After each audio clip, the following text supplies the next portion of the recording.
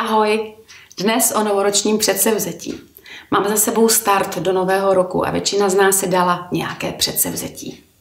Protože o vánočních svátcích jsme měli čas zbilancovat. Přemýšleli jsme, co jsme v minulém roce moc nezvládli a tak jsme se rozhodli pro změnu. Začít s novým rokem prostě nějak jinak. Změnit to, co nám nedělá dobře, co nám nepřináší užitek a dobrý pocit.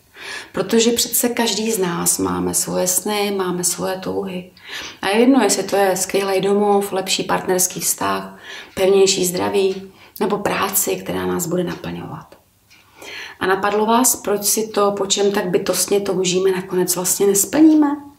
Proč v nás vyhasne ta touha po změně, která je v nás právě teď na startu nového roku? Jsou to ty jednotvárné povinnosti. A většinou povinnosti vůči druhým lidem, vůči společnosti. Jsou to vzorce, ve kterých jsme zaseknutí a ve kterých dáváme svůj vlastní život někomu jinému než sami sobě. Jsme otroky systému a otroky pravidel. Bohužel většinou pravidel někoho jiného. Plníme úkoly jiných.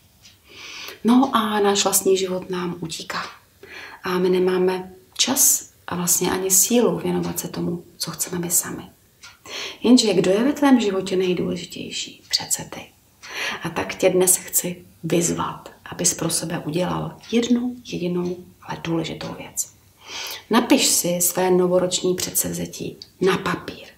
A při tom psaní si uvědom, proč je pro tebe tak důležité. Prožij uvnitř sebe tu sílu svého záměru, tu sílu své touhy.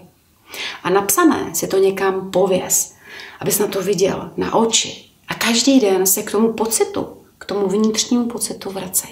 Pořád znovu a znovu, každý den to prožívej. Ať v tobě ten plamínek nevyhasne, je to na tobě. Já ti to moc přeju. Ahoj.